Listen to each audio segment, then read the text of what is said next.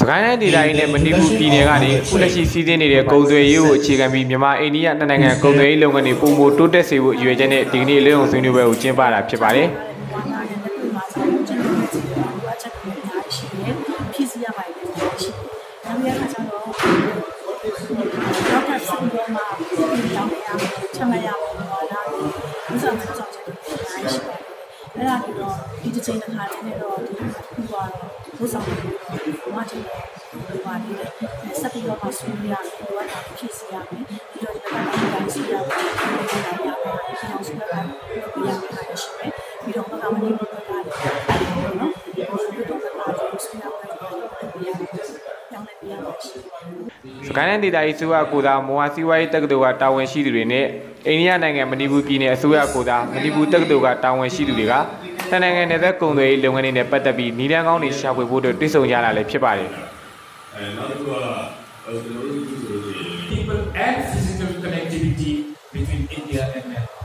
အိန္ဒိယနဲ့မြန်မာနိုင်ငံကြားထဲမှာဒီလူလူချင်းဒီဆက်စာဥပေါင်းဒီဆက်စာဆက်ဆံနိုင်လို့နဲ့ကုလူဆက်ဆံနိုင်လို့နဲ့ဒီကုန်သွယ်မှုပိုင်းဖွံ့ဖြိုးတိုးတက်ဖို့အတွက်မဏိပူအစိုးမဏိပူဒေသအစိုးဒေသဤအစိုးရနဲ့တကိုင်းတိုင်းဒေသဤအစိုးရကဥဆောင်နေတာ ခေါ်ရတော့မှာဖြစ်ပါတယ် And hence, this is the second recommendation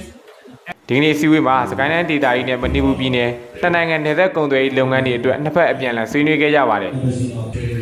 ဆွေးနွေးပွဲကိုအိန္ဒိယနိုင်ငံမဏိပူတက္ကသိုလ်ကကနဲ့တာဝန်ရှိသူတွေမွန်ဟာစီဝိုင်းတက္ကသိုလ်ကပါမောက္ခချုပ်နဲ့တာဝန်ရှိသူတွေမုံရမန္တလေးကကုမ္ပဏီလုပ်ငန်းရှင်တွေနဲ့တန်နိုင်ငံနယ်သက်ကကုန်သည်တွေတက်ရောက်ဆွေးနွေးခဲ့ကြပါတယ် ဆွေးနွေးပွဲကရရှိလာတဲ့ရလဒ်တွေကိုစကိုင်းတိုင်းဒေသကြီးစိုးရတဲ့တင်ပြသွားမှာဖြစ်တယ်လို့မွန်ဟာစီဝိုင်းတက္ကသိုလ်ကတာဝန်ရှိသူတို့ကပြောပါတယ်ဟိုဒီ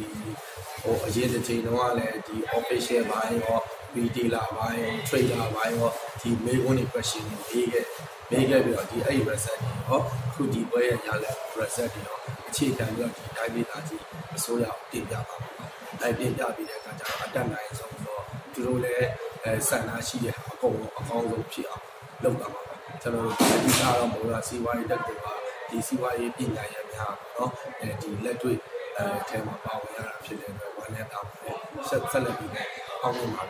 အဲဒီတိုင်းပြီးတော့လုပ်မှာเนาะ အခုလိုလုံုံဆွေးနွေးပွဲပြုလုပ်တာဟာဒုတိယကြိမ်ဖြစ်ပါတယ်။မြန်မာအိန္ဒိယနှစ်နိုင်ငံနယ်စပ်မှာရှိကြတဲ့ကုန်သည်တွေအနေနဲ့ဒီနေ့လိုလုံုံဆွေးနွေးပွဲတွေကတစ်ဆင့်နယ်စပ်ကုန်သွယ်ရေးလုပ်ငန်းတွေပုံမတိုးတက်ဖို့လည်းမျှော်လင့်နေကြပါတယ်။ကျွန်တော်သတင်းတော်ပုံနိုင်ပါ။